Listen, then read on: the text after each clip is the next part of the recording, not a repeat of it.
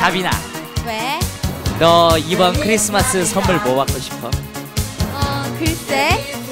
내가 너를 위해 특별히 준비한 선물이 있어 정말? 뭔데? 잠깐만 나야 자, 음악 캠프가 전하는 두 번째 캐롤입니다.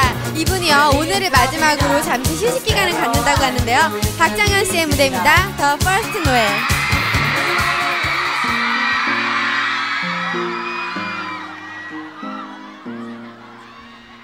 Just do.